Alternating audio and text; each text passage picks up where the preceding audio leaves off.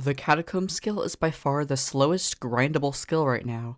However, everyone wants to have the highest level possible because you become significantly stronger in dungeons with a high skill level. You can also use your late game gear inside of dungeons making you flat out overpowered. Today, we'll go into detail for some tips and tricks I have for you to grind Catacombs floors faster and to get higher levels as efficiently as possible. If you could take a second and subscribe, that would be appreciated since we're nearly at 20,000 subscribers and at 30,000 I'll dress up like Bonzo for my YouTube rank stream. So if you want to see that, click the red button. Now let's grind some dungeons.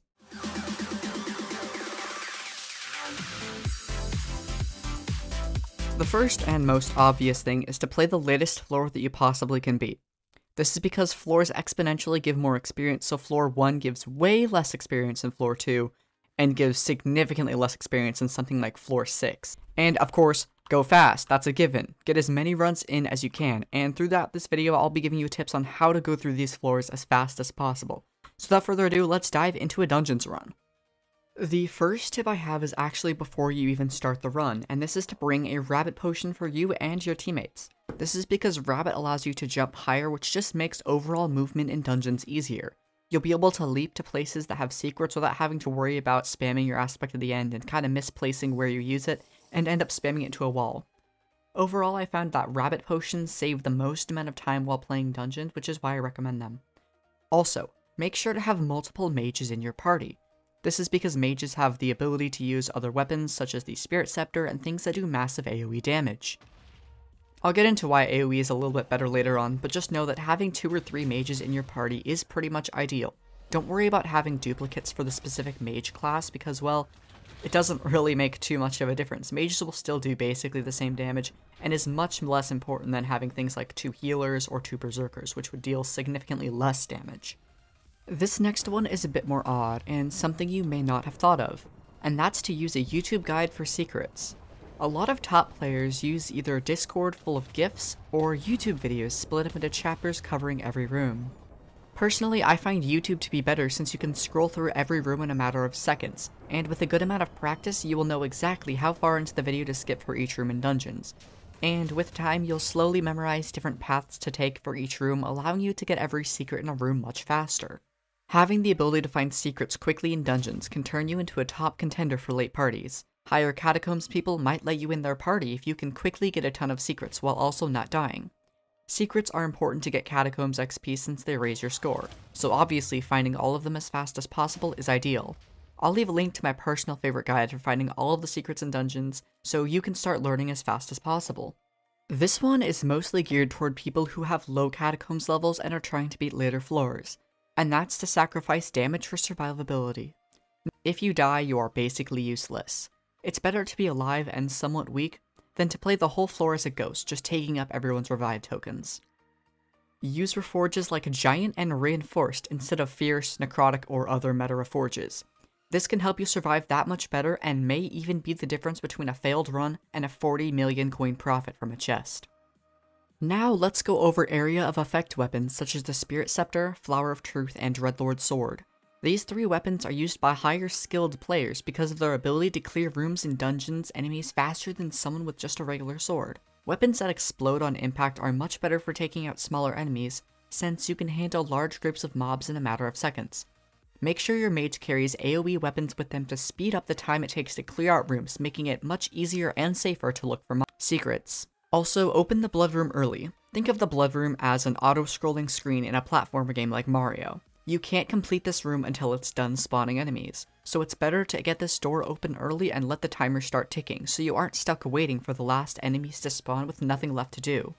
Next is something everyone should do, and that's to try and get more mana. This is so you can use the aspect of the end as often as you like.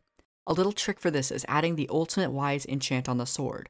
This makes it cost less mana to use, making it easier to spam. The AOTE is the fastest way to travel in dungeons and tight spaces, since you can basically teleport wherever you look. This helps with reaching high up secrets or chasing down bats that are annoying to hunt down. These next two are slightly less conventional and require the use of mods and texture packs. Some of you may have seen that bats are bright green for me, and breakable walls are a solid light blue color. By using a mod called Not Enough Updates, you get access to neat features like the ability to turn bats bright green, which makes them significantly easier to see.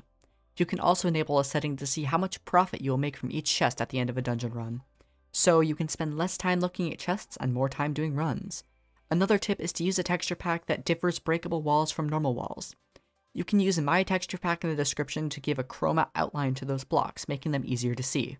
Both of these allow you to do runs faster since you can see where secret areas and bats hide. A pro tip with bats is use the mage's ultimate thunderstorm ability in a bat room. This basically kills the bat instantly since it damages nearby mobs. Save this ability for hunting down those pesky bats. Next is to make sure you slay the boss, since slaying the boss gives significantly more XP than dying before it. Many players think that dying before the boss is a good idea, and this is not the case. The only situation where you should intentionally die before the boss is if your party is positive they are not able to defeat it, in which you should just play the highest floor possible and die before the boss. But anytime you can, make sure to take out that boss, since you'll get so much more XP. There are guides and strats to make every boss in dungeons quicker and easier to take out. I won't go into detail here since the video would be too long, but a quick Google search will get the job done. A very good idea is to get into some form of voice call with your teammates and develop certain phrases for key situations. Things like 5 out of 7 in bottom left L can be a quick way to let your teammates know the L-shaped room in the bottom left corner of the map still has two secrets left to find. You can also save each other's life by calling out for the healer to use their wish ability, faster than it takes to type out wish in full caps as you get annihilated by a skeleton master. Being able to communicate effectively with your team can drastically increase the efficiency in which you run dungeons. Give it a try. Next time you're in a call with friends, try learning a few different signals and see if you can speed up those times in dungeon runs. Dungeons is also significantly less boring when talking to others, meaning you can grind longer and get more EXP without slowly going insane while we wait for more floors to release. This last one is somewhat of a joke, but there is some science to back it up, and that's to listen to fast-paced music while grinding. Do you have a playlist you like to listen to? Try adding a few faster paced songs. Your brain will try and mimic performing actions closer to the rhythm of the song, making you input more actions the faster the song. Don't believe me? Try clicking with Darude sandstorm playing in the background.